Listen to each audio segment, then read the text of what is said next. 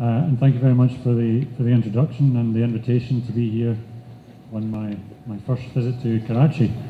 Um, I'm always very, very glad to, uh, to come to Pakistan. It's a place which has many fond memories for me. Um, so, as I said, I'm going to uh, discuss here um, some of the experiences that, that businesses that I work with in different parts of the world have, uh, have made on implementing water stewardship and uh, developing the, the concept further. I'll, get, I'll, start off just by giving a bit of a background on um, you know, where this water stewardship thinking is coming from, uh, some of the drivers behind it. I'll, uh, I'll touch on the, how that's been formulated in the AWS standard, the Alliance for Water Stewardship standard. And then I'll give you some examples on where that standard has been used, some of the benefits it's reaped, but also some of the challenges that are, that are existing. But first, um, as you would expect from most presentations, you've got to start with a who we are slide. Uh, but I would argue for us at AWS, the who we are is particularly important because AWS stands for the Alliance for Water Stewardship, and that alliance is represented here in this slide. These are our members. It's a little bit distorted, isn't it? I'm not sure Ronald McDonald would thank me for the uh, for the shape of his of, of his arches there, but um, these are the organisations which comprise the alliance. Most of them. It's not completely up to date. And I've pointed out, as a vegetarian, the uh, McDonald's here in the middle, uh, Nestle, of course, Coca-Cola, big companies, a lot of food and beverage representation there. Uh, but it's not just about the big companies, it's also about the, uh, the NGOs. WWF, as we've been hearing, has been very much a part of AWS from the beginning. But it's also smaller NGOs, uh, like, for example, one which isn't represented here from Pakistan, um, uh, uh, Pakistan, which is a, a, a small, relatively small non-profit here in Pakistan, which has joined AWS and contributes really valuable experience to this community uh, from a very specific angle of rural development here in Pakistan. It's really important learning for us that we wouldn't get necessarily from a major corporation. And the public sector is, is also a key part. Uh, um, some of the public sector members we have include economic development uh, agencies, even the health service in my native Scotland uh, has joined seeing the benefits of water stewardship for their sustainability objectives. So the point I'm making here though is, is water stewardship is fundamentally what we term a multi-stakeholder approach. It, uh, it requires input from big and small, from public, from private, and from civil society, and from across all regions. In order to address some of the problems which probably don't need reiterating here, but from a public policy perspective, you know, this is one depiction, one set of statistics that, that can try and capture some of the challenges around water, uh, the, the, number of people affected, the number of people living in water-stressed areas, uh, how that demand is going to, going to increase, what it's going to mean for our economies, our, our communities going forward. Or from a, a different perspective, this is a recently produced report from the OECD, which, uh, which looks at water risk hotspots, particularly uh, looking at agricultural areas, and, and very much looking at, okay, where are the, where are the future risks coming from? doesn't show up particularly well here because it's just highlighted country by country, but if you zone into these areas, um, it certainly, you get some pretty scary statistics And for example, uh, Indian, Indian Punjab, uh, north uh, east China, this bit, this east, isn't it? Uh, California and other places. Um, again, getting the public sector uh, policymakers heads around where they need to be need, need to be thinking in terms of policy going forward. But it also matters to you and me. Every day we hear uh, news on uh, in the newspapers and the media and the internet about water-related issues. Here from California, big signs about droughts, getting into the public consciousness, raising community community tensions in some areas, um, issues around water quality. Uh, this is a clipping from Bangladesh, for example. This picture of a, of a, of a supposed waterway could, could be taken virtually anywhere in, in, in, in, uh, in Asia, really, um, such as the municipal, uh, the, the, the, inadequacy of uh, infrastructure to cope with rising populations. And it's not just in developing countries, it's also in developed countries. This from, from the US there's a city of Flint, which attracted international media attention around the, the poisoning of the, of the municipal water supply there. So it's getting into our own lives every day. And when that happens, then businesses start to sit up and take notice because it manifests itself in risk for businesses. Physical risk, too much, too little water. Is it going to be there next, next year when I need it? Reputational risk. What are consumers? What are investors? What are communities, governments? What are they thinking about my business activities? And how's that manifesting itself in the regulatory landscape? You may recall a few years ago from Thailand when there was some slow onset flooding. It wasn't a surprise, it wasn't a sudden, sudden event, but it was very much a, a gradual event due to prolonged periods of rain that led to enormous problems through supply chains around the world. This from car production. Um, and, and affecting computer uh, hard, uh, hardware supplies, etc.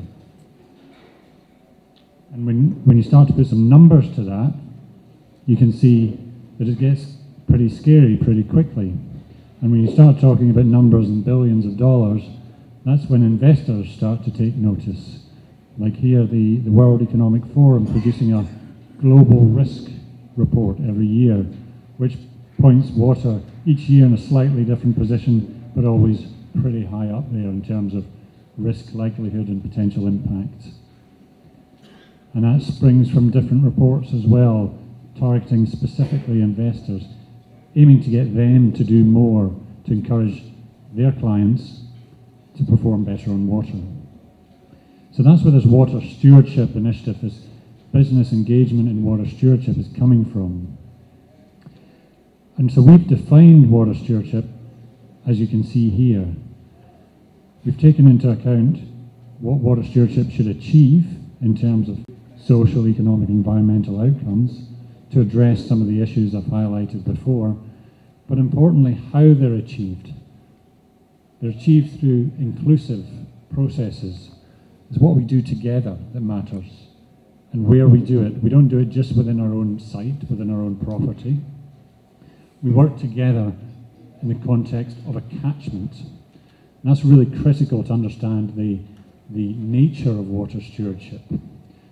Every uh, factory in, in, uh, in Pakistan operating perfectly would not result in a perfectly uh, uh a perfect water system for Pakistan because there's many other users beyond industry who rely on the same resort who would be creating risk for those businesses as well. So it's imperative that we look at this in a collective way. It's imperative that we look at water stewardship not just as water, I beg your pardon, not just as an, as an input to be managed, but as an asset that is shared, one that creates value for a variety of different users in a variety of different ways. So why, why then go down the route of a water stewardship standard? Well, voluntary standards have been shown to be very effective in engaging the private sector in driving transparency, in driving collaboration, and improving sustainability performance. And voluntary standards enable businesses to go beyond the minimum requirements for legal compliance and move towards best practice, provides market-based incentives to move towards best practice, to innovate, to bridge that gap between what regulation is, is stipulating, even when it's perfectly informed, and, and what sustainability is actually requiring. So here's a snapshot of, of our response to this. We've produced a standard that's developed around six steps of implementation. It requires an, a commitment. It requires gathering and understanding data relating to your context. It requires using that to make a plan, which is implemented, evaluated, and communicated. And this is all in relation to a water using site. It focuses in on the water user themselves. And in implementing that plan, that site should achieve these four outcomes. There's a quantitative outcome, a qualitative outcome, a values-based outcome, and a governance-based outcome. And these outcomes simply reflect the concerns that stakeholders voiced to us during a four-year global standard development process. That included representation from all sectors and all regions.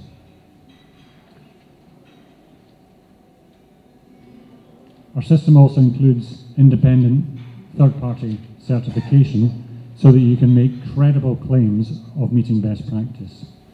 There's many stories told about water stewardship performance, but unless it's independently verified against a stakeholder endorsed standard, who knows what they really mean? Of course, you may be wondering, as many do, uh, this is all very well, uh, but it's different here. And that's the whole point. It's different everywhere the standard is, is one single standard for all sectors and all regions. And so clearly it doesn't stipulate the precise nature of actions you need to take. Rather, it provides you a framework to understand your context, to uh, develop transparent processes, uh, to understand stakeholder needs, and understand their own risks and opportunities in order to deliver on those four outcomes I mentioned before. Sustainable water balance, good water quality, uh, the, the values, and water governance. But it leaves this space in the middle free for any site anywhere to take actions that are suitable for that location. That's what's encapsulated in your site water stewardship strategy and plan. And this is to just give you a snapshot of, of where the standard is being used in terms of certification. The yellow dots represent sites who are seeking certification, and the red dots represent sites which have achieved certification. And we're at very early stages. This system has been live for about two years, and so we're, we're really at a very early stages.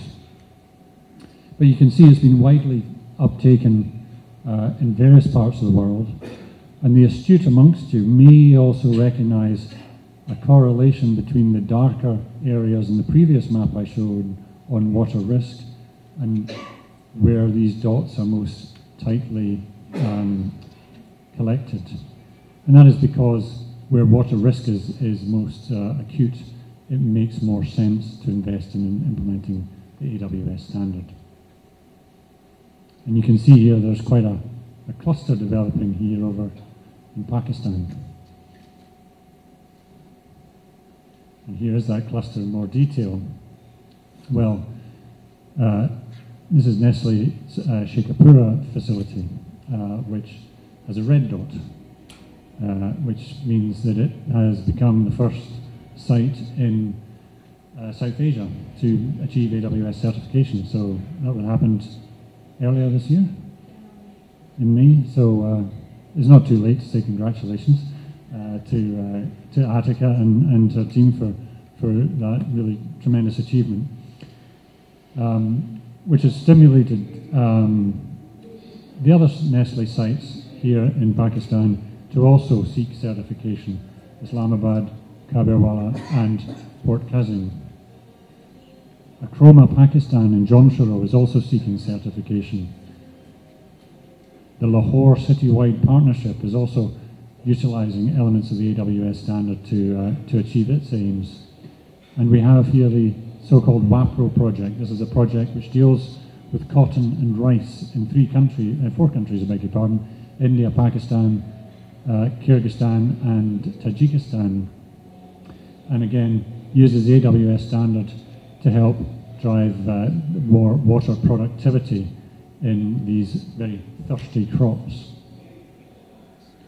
This has also stimulated the establishment of the Pakistan Water Stewardship Network, which is absolutely critical because water stewardship happens in a place. It's, it, it's a location-based effort.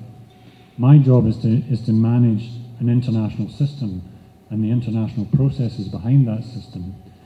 But we need information. We need that system to reflect the real needs. And I can't figure all that out. You know, I'm, I'm, I'm a pretty smart guy, but I can't figure it all out from my, from my office in Scotland. I need the information to come from the field, to come from implementation, to understand what the perspectives from, from industry in Pakistan are, in the same way as I need to understand the perspectives of agriculture in Peru and put that into the multi-stakeholder forum of AWS to create that framework which is continually responding to needs as they emerge and knowledge as it's generated. So um, just to give you a couple of examples, I'll just zip through these quickly, I won't dwell on them too long, uh, just to give you a bit of a sense on, uh, on how things are um, shaping up in other countries. And Atika, I think, is going to talk to you a bit more detail about the specific case of Sheikhupura. Um, one of the interesting uh, approaches we're adopting in China is working with industrial parks. Um, and the reason why we're doing that is because where you have uh, uh, locations in which we have multiple entities essentially doing the same or very similar things, you have real opportunity to to A, bring SMEs into the picture, and B, to, um, to uh, sort, of, sort of achieve more economies of scale than you would just going company by company by company. And so we've been working with uh, both municipalities and industrial parks, uh, municipality in Kunshan and the Teda Industrial Park with more than a thousand SMEs present.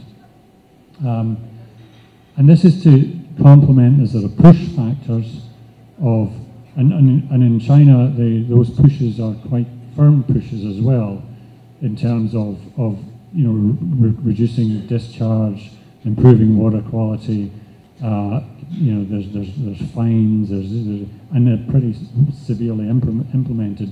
It wouldn't be unusual for companies to be shut down if they're not uh, in compliance with uh, what is determined here.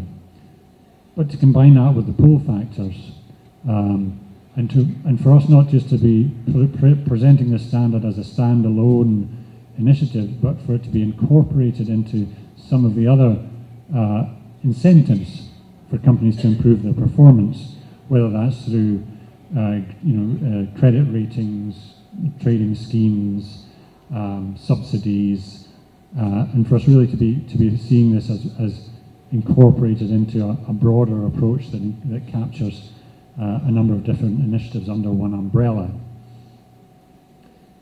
And some of the early, early stages, but some of the learnings we're seeing there is that the need for very specific sector guidance in, in areas like that.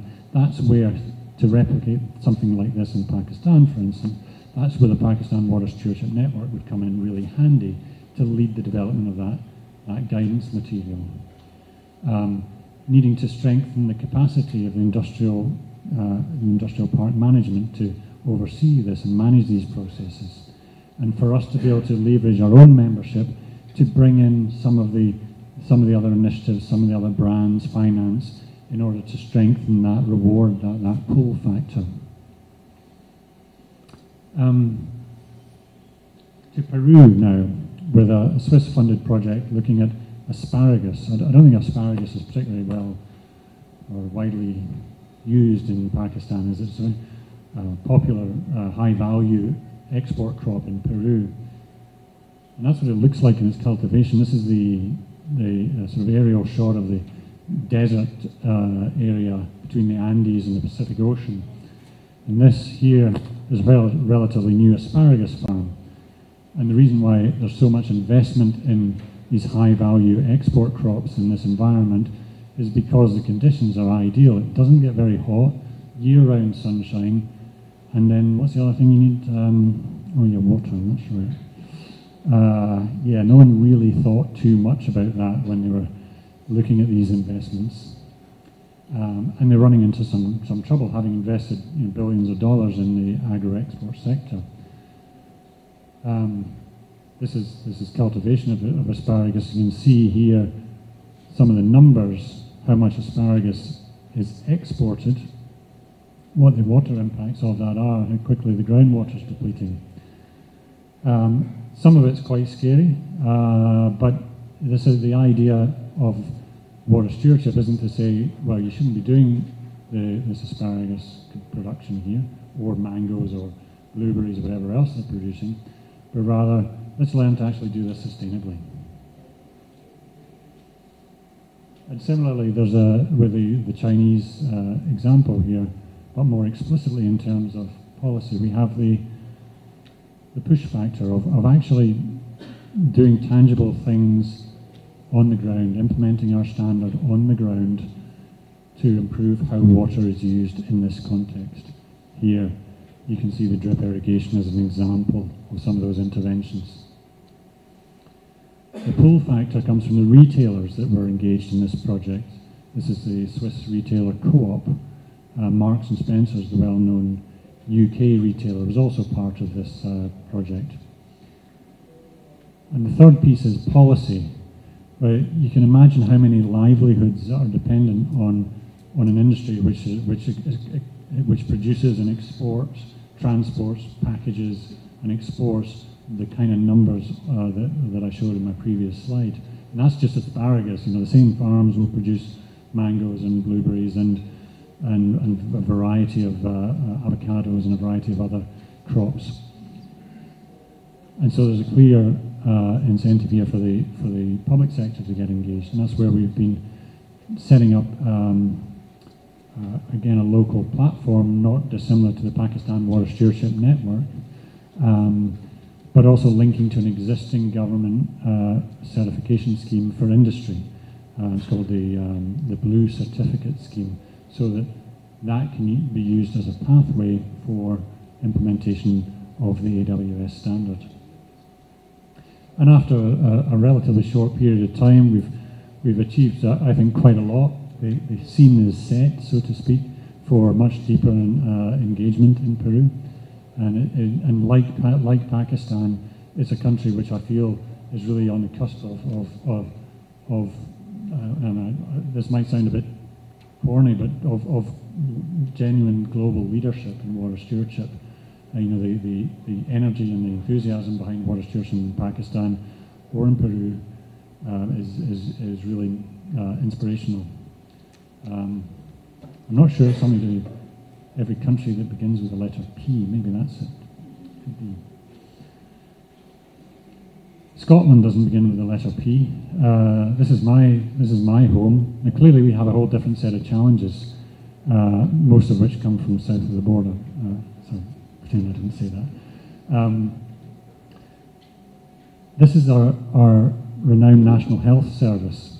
it might not.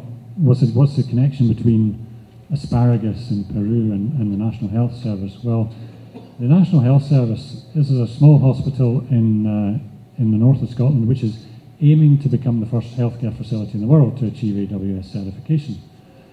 Well, why is that? Well, the health service employs a lot of these uh, who like to prescribe a lot of these pharmaceuticals.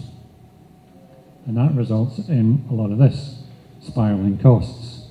But those costs are not just financial costs, those costs are also the costs related to the environment. And awareness of, of contamination, uh, water quality issues related to pharmaceuticals is rising more and more. And it's one of these things, the more you know about it, the scarier it gets. So I, I until this, I was completely uh, ignorant of the, the, issues as well. But it, logically, one of the things when I take a tablet, swallow it, and that's it's done its job, it's cured my headache or whatever, done. That's not the case. Up to 90% of the active ingredients enter the environment and cause huge amounts of damage to the environment, in particular in aquatic species. Uh, and so this is where the health service is looking at actual costs of pharmaceutical uh, use, future costs of having, trying to keep people out of hospital, uh, keep people healthier, having a healthier environment, and seeing that water stewardship can really be a, a key part of that sustainability strategy. And from my perspective, I'm delighted because it's, you know, it's, uh, I, have got something to say about my home country as well, but I'm delighted because it's setting an example that if you can do something like this in the, in the north of Scotland, you can do it in Karachi as well. You can do it in Manila or in Rio de Janeiro or anywhere else in the world and really start to get people behind this. And so it's that global leadership that I was mentioning before is so important in initiatives like water stewardship because we need, we need people to inspire and motivate us. And, and these examples I've pointed out today are, are some of the ones which, uh, which certainly do that for me. And so just to, just to conclude, um, I think that I think it's pretty clear there's there's a, there's a lot of benefits from water stewardship, both from the public and the private perspectives. Um, there's a lot of uh, potential to to enable it to coordinate uh, different policy initiatives, bring different things into one place, whether that's a you know agriculture and, and, and energy and water, uh, community, uh, access to services, whatever it might be. There's a great opportunity for this to be a framework to bring different policy initiatives together. In the long term, we really need to be able to demonstrate that water stewardship can uh, make genuine contributions to systemic change. Um, if we can't do that, it's really probably not worth, not worth doing. But I hope you've understood that I certainly firmly believe we're on track to be able to do that. But to do so, it's really not about the water. It's about the people. It's the people who make the difference. When I listen to water stewardship dialogues in different parts around the world, it's ultimately about who can do what or how are we going to get them to do this or them to talk to them or them to develop such and such a policy. It's actually very little to do with the water. Yes, we need a, the understanding of the hydrological situation, but it's, it's a, ultimately a political issue rather than a hydrological issue. Thank you very much.